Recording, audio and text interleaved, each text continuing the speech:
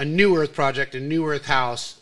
We're a division of Atlantic Packaging, and we're the sustainable wing trying to push and promote sustainable packaging. And Firewire just came on board and Slater Designs that Kelly mm-hmm. owns. So Kelly just got some boards received today that he was unwrapping with the new packaging, no bubble wrap, no plastic. He was telling them when you send me boards, don't send them in packaging. Just send them plain. them as- I don't care if they get dings. I got a good ding repair guy, and he can afford to pay for. A He just repair. didn't want the bubble wrap. He just doesn't want to deal with Yeah. bubble wrap. The guilt. uh, these these plastic air batons. yeah, yeah. And he's like, I was asking what do, what would you do with this stuff? He's like, I would normally just try and drive it back down to like Arakawa or those facilities See where they pack boards and say, can you guys reuse this stuff? I, Yeah. I don't want to throw it away. Yeah.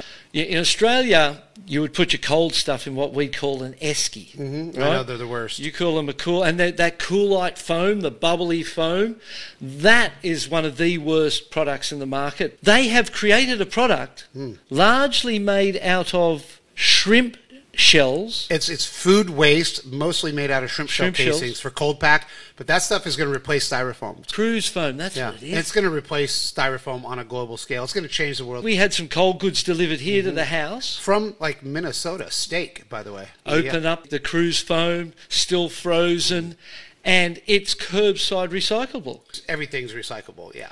So that's the space that these guys work in.